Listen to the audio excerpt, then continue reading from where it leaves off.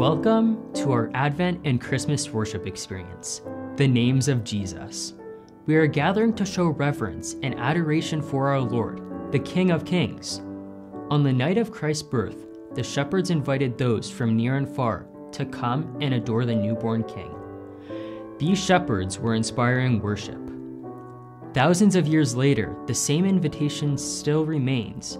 As a believer, you are invited in this season and in every season to come and worship Christ, to come and adore the King of Kings.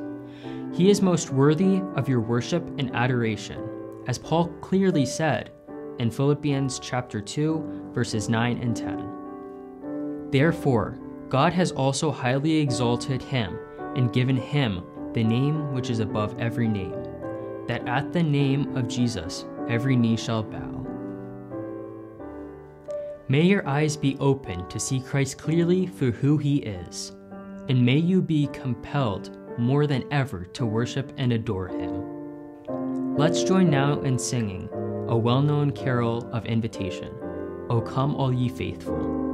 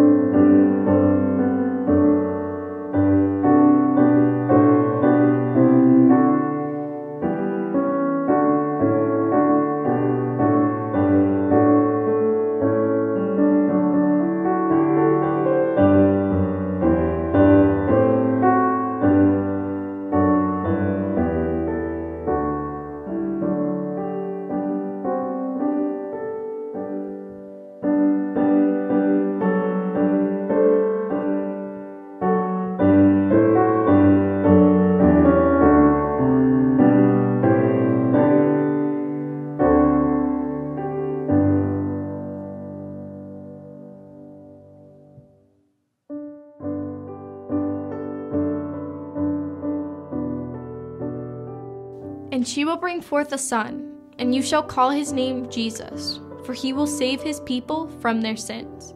Matthew chapter 1, verse 21. The name Jesus is a transliteration of the Hebrew name Joshua, which means the Lord saves, or the Lord is salvation. In biblical times, it was not an uncommon name, just like Jesus himself didn't appear out of the ordinary to those who grew up with him. Yet his given name holds great significance to who he is and what he did on earth. In the Old Testament, Joshua led the Israelites into Canaan. He saved the people through courageous leadership, charging into battle upon bloody battle, leading hundreds of thousands into the promised land. In contrast to the first Joshua, the second Joshua, Jesus, saved humankind through an epic battle that he fought alone, quietly making the way for his people to enter the promised land of God's presence. Jesus came to save you from your sins. This is what he was born to accomplish. What joy has dawned in Jesus Christ. Let's sing now of this joy, and with joy together.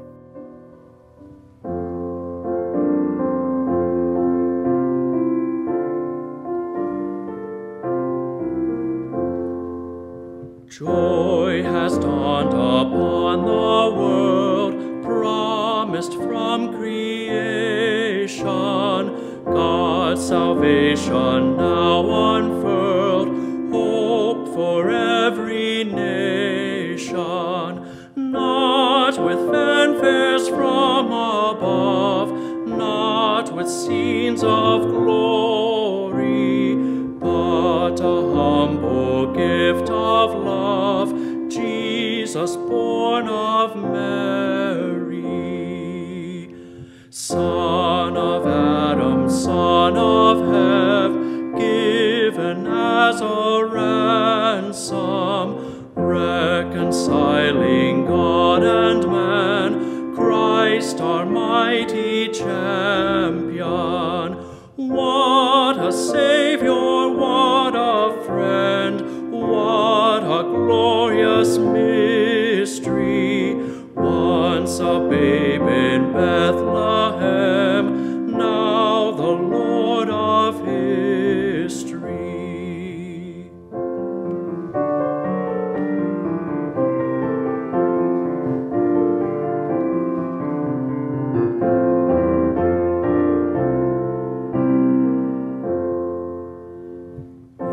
Angels we have heard on high, sweetly singing o'er the plains, and the mountains in reply echo back their joyous strains.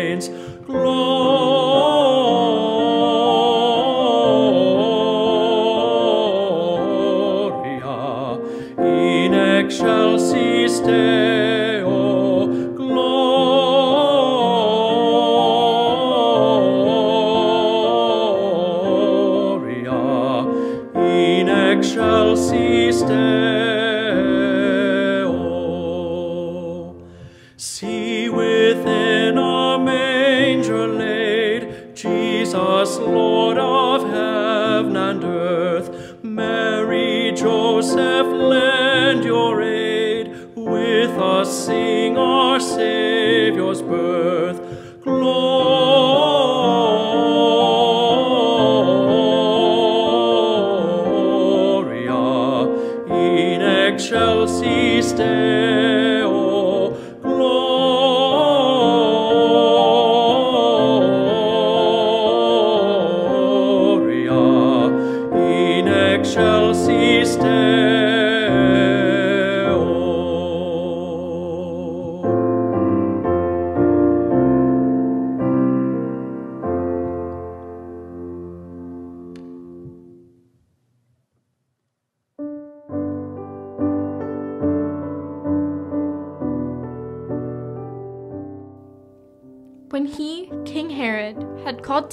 All the people's chief priests and teachers of the law, he asked them where the Messiah was to be born. Matthew chapter 2, verse 4.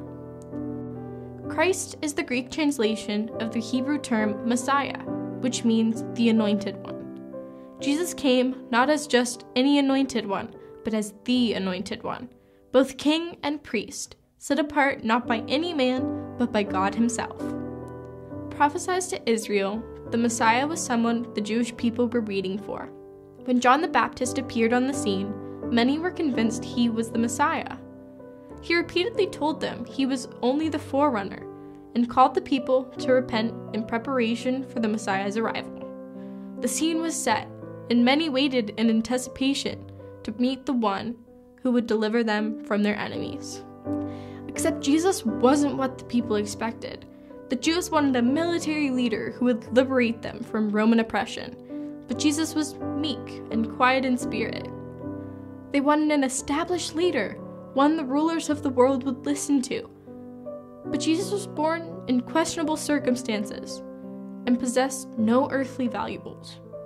Jesus was God's answer to the covenant and promise he made with Israel. He was the Messiah, but they rejected him. He came to that which was his own, but his own did not receive him. Yet to all who did receive him, to those who believed in his name, he gave the right to become children of God. Receive and celebrate Jesus today as the Christ, your Messiah, the Anointed One.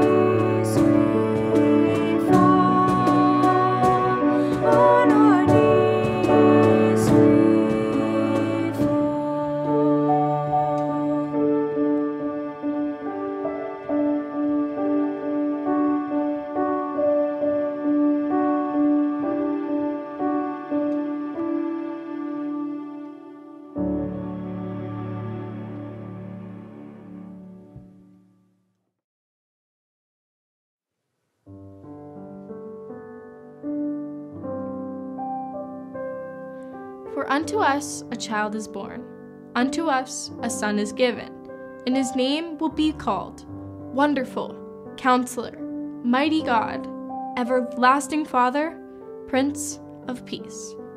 Of the increase of his government and peace there will be no end.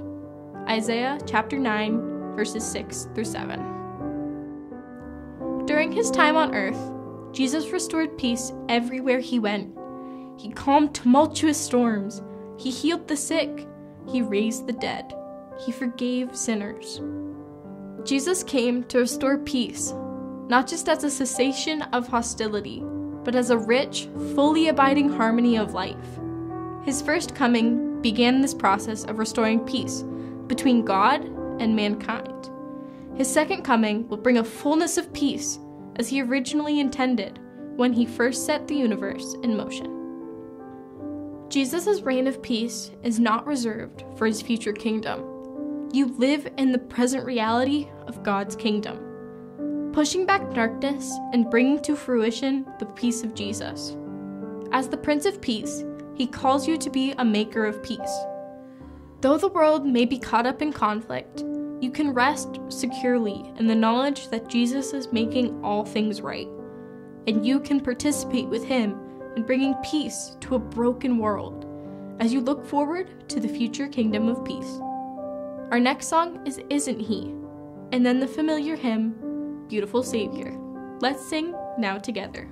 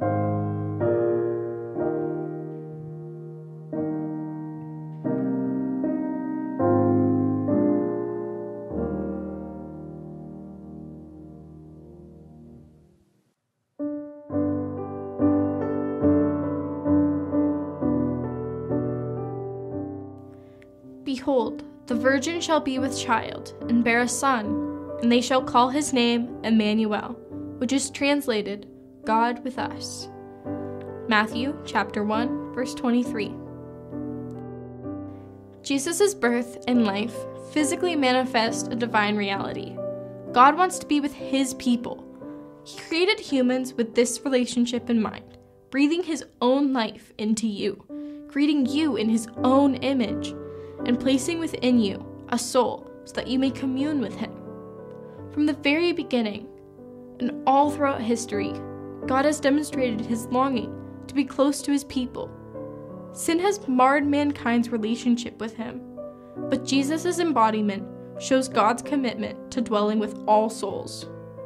This is awe inspiring when you think about it. God Himself set aside His brilliance, took on human form, and became one of us. He walked among the people, ate, laughed, cried, slept, and felt tired, angry, and happy.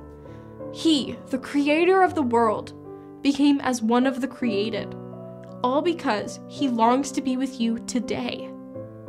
And he was willing to do whatever it took, setting aside his glory and humbling himself to the point of death on a cross, just to be with you forever.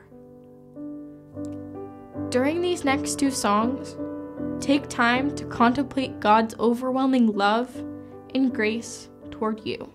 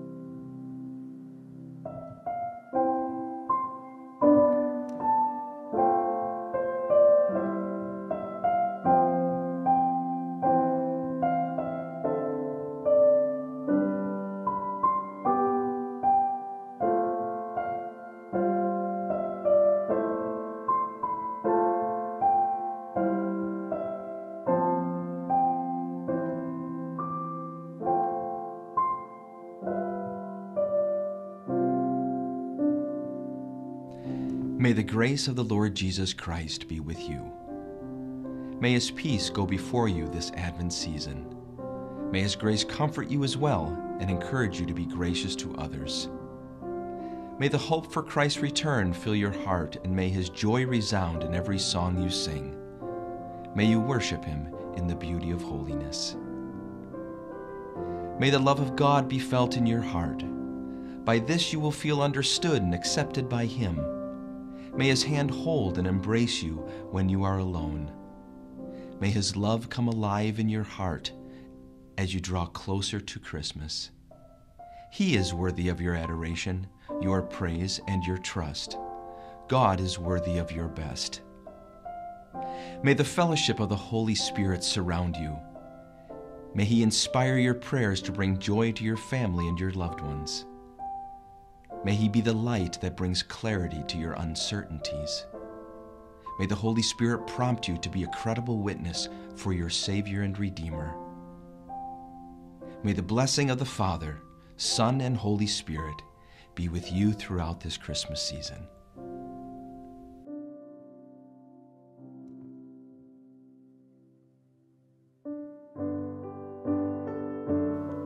As you continue to move toward Christmas and through this blessed season of Advent, we pray that your days are filled with the light and love of Jesus Christ. Our final song is a medley of a few beloved and familiar Christmas carols. Let's raise our voices together one final time in praise of our Savior.